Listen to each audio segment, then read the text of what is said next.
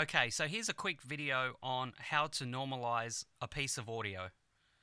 So I've got some vocals here that I've just recorded in. So it's very easy to normalize this piece of audio. So all you do is right click onto the region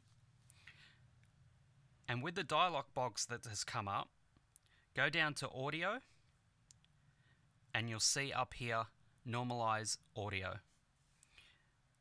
Now, as a little tip, when you go and have a look at any of these processes that you can do to audio, they'll have a keyboard shortcut.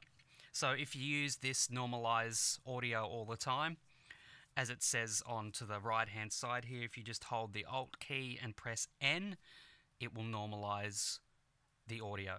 But you can always just go and do it this way um, using the menu.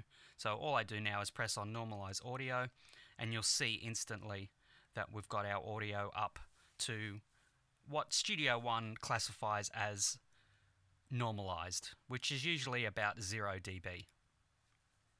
So again, you can come back and just highlight the region, Alt and N, and it does it quickly for you like that.